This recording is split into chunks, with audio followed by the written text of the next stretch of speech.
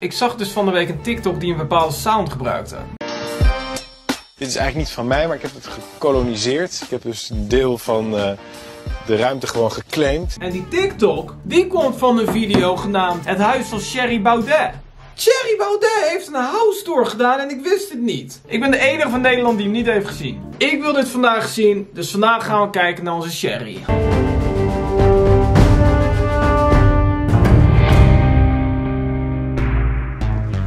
Turn me up, turn me up. Hé hey jongens, kom verder, het is boven. Hé hey jongens, komt u nader via de opgang? Vraag alsof we hier door een student worden uitgenodigd om te Netflix en chillen. Nou, dit is mijn slaapkamer. Hij heeft geen deur. Dat moet ik nog verdienen. Oké, ik heb zo zin hierin. Kom verder, het is boven. Ik heb medium zin hierin. What the fuck is deze foto? What the fuck? Ik moet bij deze foto denken aan die andere foto die toen viraal was gegaan van hem. Ik ben Thierry Baudet en ik ben de lijsttrekker van Forum voor Democratie. De dramatische euromunt raakt ons niet alleen in onze portemonnee.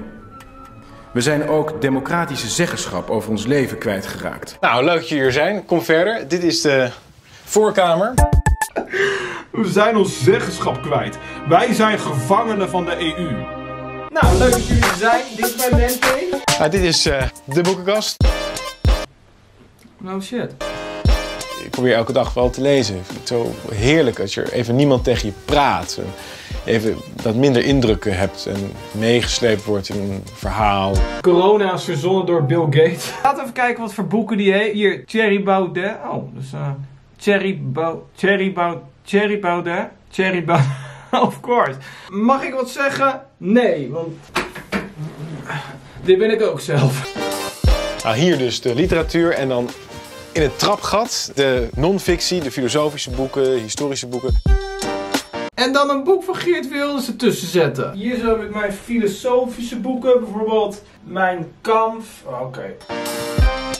Dit is eigenlijk niet van mij, maar ik heb het gekoloniseerd. Ik heb dus een deel van uh, de ruimte gewoon geclaimd. Het gaat helemaal door. Hey, dat is de TikTok-sound waar we het net over hadden. Hij heeft dus heel de gedeelde gang met zijn buurman vol boeken gedaan. Ziet er niet super stevig uit, maar het is best wel vet. Of als, nou ja, dat de buurman een date meeneemt en dat die vrouw dan als eerste Islam zwaar. Leuk, al die boeken. Hier, hoe een lichaam te laten verdwijnen voor dummies.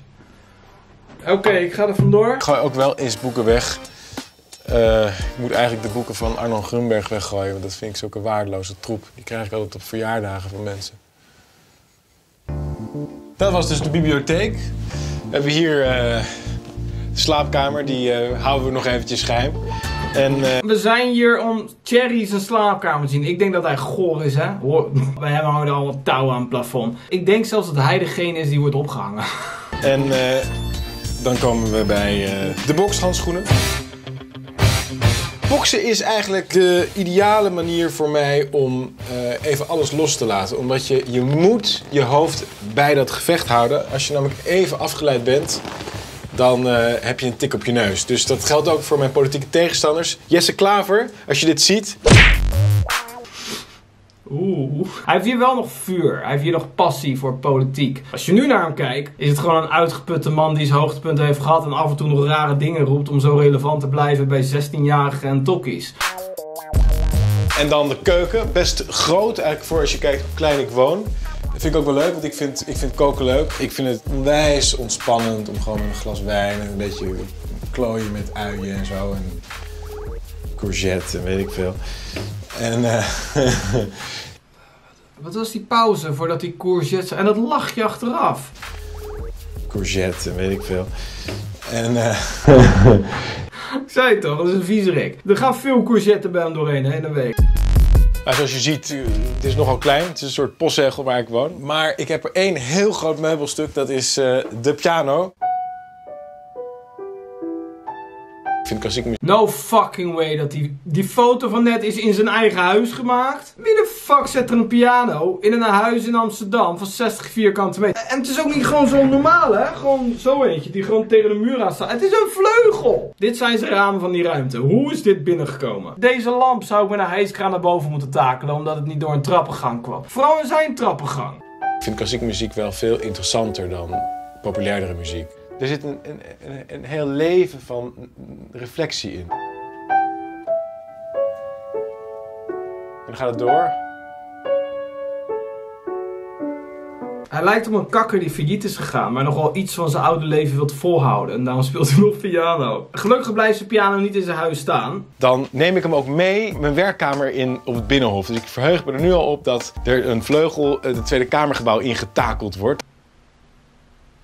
Hij gaat hem in zijn kantoor zetten. Ja, hier zit ik te werken. Heel vaak op deze plek. Hier zit ik gewoon heel graag te zitten en te, na te denken over mooie zinnen waar linkse mensen boos van worden. Oké. Dit is ook echt zijn campagne. Zeg iets waar extreem linkse mensen tegen zijn, zeg maar alles, dan wordt dat honderdduizend keer vaker gedeeld. Dat is wel slim, je kan zeggen wat je wil. Het is een zakje met lavendel. Lavender's blue. Zelf geplukt in de Provence in Zuid-Frankrijk, waar een klooster staat, helemaal in een vallei. Prachtig, helemaal bedekt met die blauwe paarse lavendel. En dat is al mijn hele leven eigenlijk is dat een plek die ik ongelooflijk mooi vind. Ik vind het leuk om dan, als ik even geen zin meer heb of zo, dan ruik ik er even aan en dan denk ik dat ik daar ben en dan kan ik er weer tegen. Dat was geen lavendel, hè? Wel, dit, echt, dit heb ik zelf gekocht. Dus eh, in Colombia, eh, Zuid-Frankrijk een keer. Ja, en dit is mijn eh, vervoersmiddel, mijn fiets.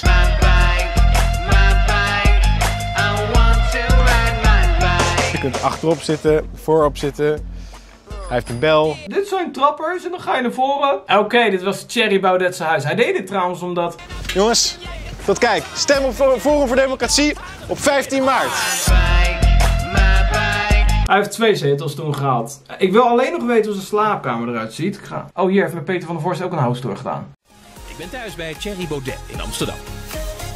Zullen we al even verder kijken? Of Mogen we nog meer zien? Ja, natuurlijk. Ja. Oké, nou zo hier.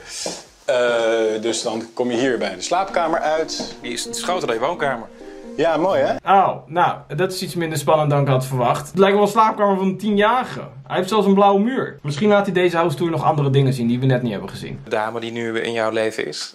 Hoe lang is het trouwens? Een dag of vier. Niet zo kort. maar de, de, als de, ik, ik raak van slag van je, Thierry. Dat heb ik ook, ja. Ja? oh god, ontstaat. Ik, ik, ik dacht vroeger dat, dat je homo was trouwens.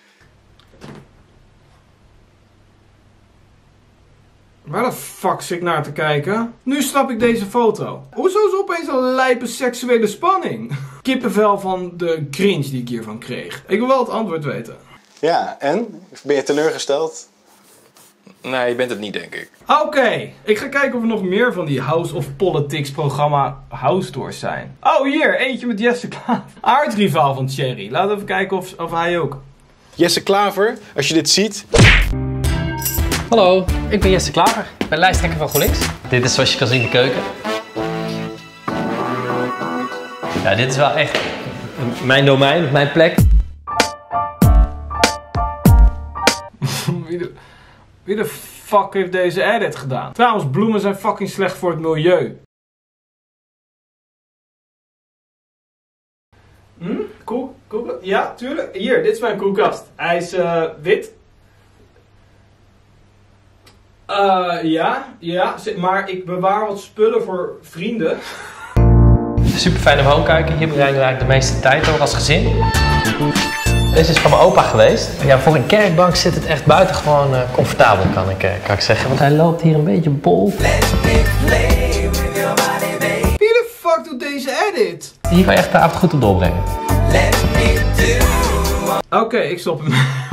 Ja, maar hoe lang heeft de editor niet geneukt? Sowieso, de house tour is best wel saai. Hij had ook een boekenkast. Superleuk, maar dan niet in de gang van de buurman. En exact de tegenovergestelde boeken. Hier Barack Obama. En toen liet hij weten waarom hij nog bij zijn vrouw is. Eh, dit is de eigenlijk de vergadertafel. Maar eh, Jolijn heeft het eigenlijk voor haar hobby eh, geclaimd. Jolijn die houdt onwijs van, van naaien. Daar moet een sexy muziekje onder. Niet onder de bolling van een bank. Hij bedoelde trouwens niet naaien als in... Het, het is Jesse Klaver. Het is GroenLinks. Hij wordt warm van hele andere dingen. Heel veel mensen kennen mij van mijn eikeltje pyjama. Dat is eh, dankzij Jolijn. Die heeft dat eh, op haar Instagram gezet. De kinderen hadden ook allemaal een eikeltje pyjama.